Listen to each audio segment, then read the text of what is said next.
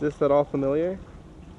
Well, I remember coming to a little park and looking out, and there was like a, you know, uh, uh, an island, and uh, and my grandfather said something about uh, about it, but it's really hard to remember from 45 years ago.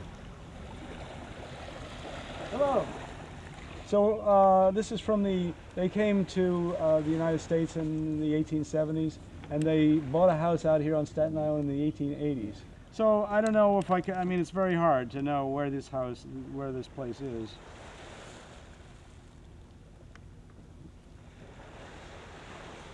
If you could notice people over here, the, one, the, This- the this house, house? the house next next to it, not the other, the No. other, the other one next to it. Okay. Yeah. They over, they over here like uh, 40 years, so Yeah. no more. Yeah. Okay. Well, Yeah. thanks for your help. luck. Yeah.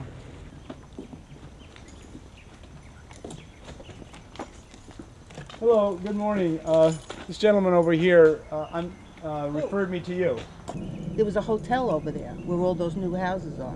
Okay. All right, maybe that's it. Yeah. Expanded upon. I'm just coming back to the neighborhood trying to see if the houses are still here, but I don't think they are. Wow. yeah, long time ago. Yeah. Yeah, that's what I, I brought my grandfather over here in the 1960s, and I don't recognize anything now. So it must be. Is this a little? part? What is this over here on the other side of the street? That's the ocean. That's the ocean.